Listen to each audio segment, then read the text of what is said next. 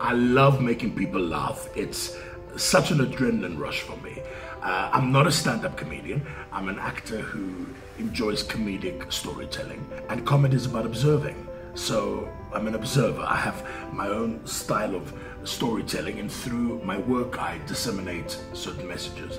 And that really is my job as an actor. Uh, so for me, creating a talk which is funny and uh, playful yet thought provoking is still storytelling, but in a different landscape. So it becomes a dialogue with my audience. There's no fourth wall. And that really was uh, my starting point for my talk. The talk is titled Waiter, There's a Salad on My Table. Uh, it's a talk about all the things that consume us, really.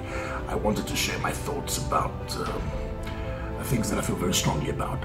So it, it really is a, a comedic, uh, truthful conversation where I take the audience on a journey of self-discovery and I explore my, my weight loss and my weight gain and um, why things like instant coffee and iceberg lettuce and reality TV should be banished from our kingdom.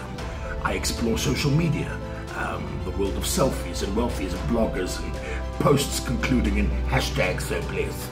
How as a society we celebrate beauty and wealth and vacuous rhetoric over intelligence, compassion and integrity. I talk about our hunger for fame, uh, luxurious fortune and our need for instant gratification and recognition. So it really is a sincere and truthful account of the courage that it takes to fulfill your dreams and the price that you sometimes have to pay. Um, the freedom of allowing yourself to be who you are in a world that is determined to box and interrogate you.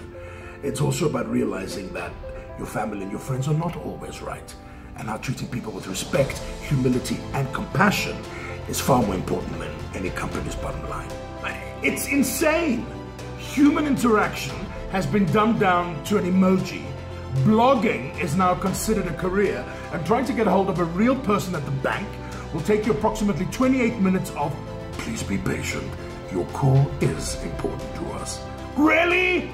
Waiter, there's a salad on my table is a tasty, funny, biting observation of life right now and how growing older is the most undervalued commodity in our evolution.